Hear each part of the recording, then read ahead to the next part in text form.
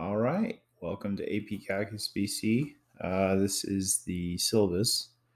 Uh, if you have me for Calc AB, then it's pretty much the same, same system, same grade breakdown, same practices. Uh, the uh, what we cover adds a little bit. Um, now, I would say the we're, we're still to have retest, uh, maximum 90% scores. I'll give you your highest one at the end of the semester. If you have any over 90, full credit.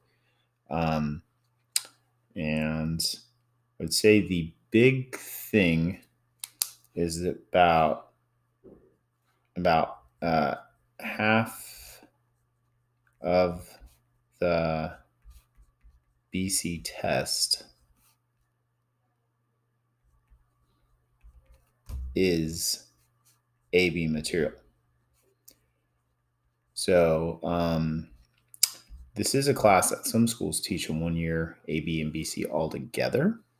And uh, while I guess that's possible, I think that sounds pretty intense and crazy. And uh, just because you can cover everything doesn't mean you'll know it well enough. So I kind of like our approach, which I think is also pretty common of spreading out over two years. But also, um, so, anyways, the interesting thing is is that you're going to get two scores on the BC test.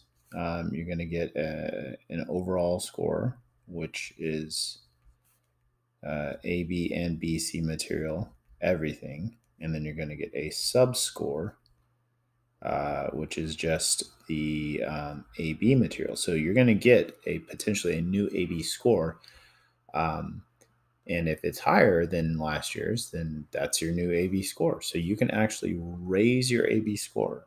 Uh, so you can redeem yourself. Uh, so, I mean, anyone who didn't get a five, uh, then uh, here's your chance to get that higher score.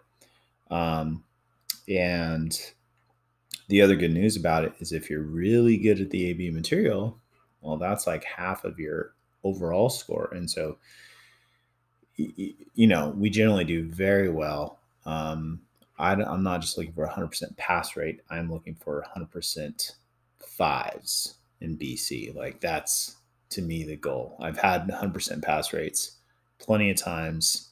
I've had all fours and fives. Most of my students get fives because half the material is material from last year. We are going to cover that material again quickly throughout the year as it comes up. A lot of the BC material is we're going to be taking AB ideas and extending them to uh, deeper ideas, more complicated ideas. So we take one dimensional motion to two dimensional motion. We look at some other uh, graphing, uh, polar or uh, different coordinate systems, but we apply the same ideas. Um, we learned some new integration techniques to add on to our integration techniques from last year. So a lot of it's just building off of what we did last year, and you guys should have a really good foundation in that. And uh, so we'll go through the AB stuff quickly, which will give us lots of time to do the new BC stuff and take that on slowly and do really good at that, and uh, hopefully have a lot of fun at the same time.